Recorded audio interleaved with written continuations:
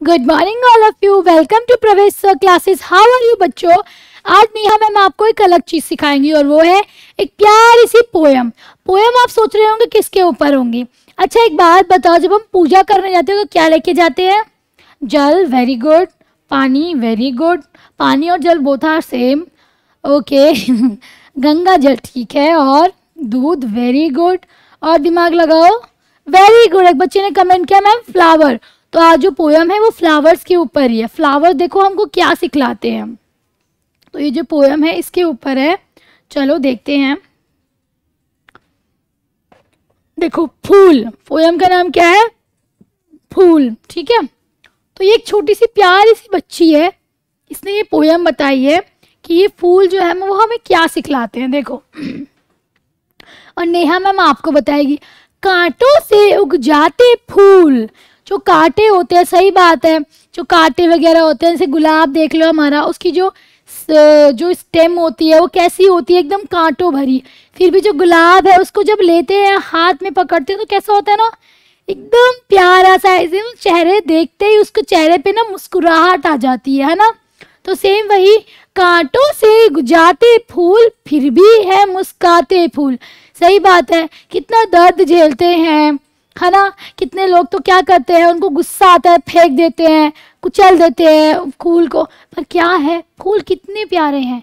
कांटे होने के बावजूद भी वो क्या करते हैं?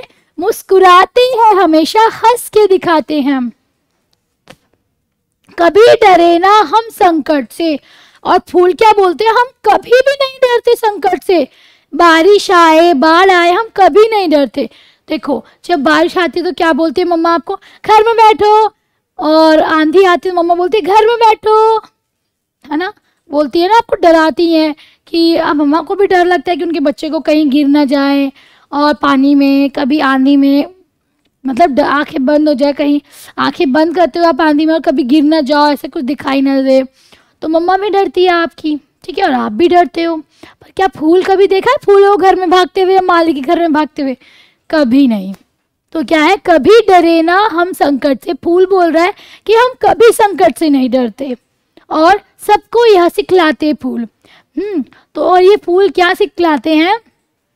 कि हमें कभी किसी भी परेशानी, किसी भी प्रॉब्लम से नहीं डरना चाहिए। अगर रेन हो रही है, कोई बात नहीं। हो दो, वो तो होगी, है ना? कई बार क्या होता है, जैसे रोड पर गड्ढे वगैरह हुए हैं तो क्या करते हैं लोग? वहाँ से जाते ही नहीं है। आप लोग भी क्या करते हो? स्ट्रीट चेंज करते हो। पर क्यों? क्यों लॉन्ग रूट लेना? अगर हमारा रूट वही है तो क्यों? क्यों? क्यों दूसरा रूट लेना? हम उसी रूट से जाएँगे। कोई बात नहीं। आराम से जाएँगे, किनारे में से निकल के जाएँगे, पर जाएँगे। है ना? एग्ज़ाम आते हैं। कई बच्चे क्या करते हैं? पढ़ाई नहीं करते चिट्स बनाते हैं। चीटिंग कर लेते हैं। तो ये गंदी बात है ना? हमें संकट से नहीं डरना। संकट है। सही बात है एग्ज़ाम आ गए, पढ़ाई नहीं करी। क्या क्या करनी है हमें? पढ़ाई करनी है। ठीक है? एक बार दोबारा रीड करते हैं।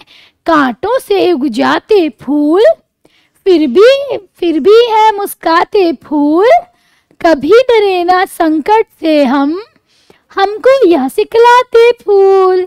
ठीक है? अच्छा तो अच्छा बताओ बच्चों, ये वाली जो वीडियो है, आपको कैसी लगी? होप सो आपको अच्छी लगी। और आप ही अगर चाहते हो कि मैं स्क्रीन पर आपके कोई आपकी कोई पोयम दिखाऊँ तो प्लीज़ प्लीज़ प्लीज़ मेरे प्यारे बच्चों, इस नंबर पे आप वो पोयम भेज सकते हो। ये है मेरा व्हाट्सअप नंबर भेजने की टाइमिंग है eight AM to four P M और चैनल को ज़्यादा कुछ नहीं नहीं हम मांगती हमेशा की तरह। चैनल को लाइक सब्सक्राइब पक्का पक्का पक्का कर देना।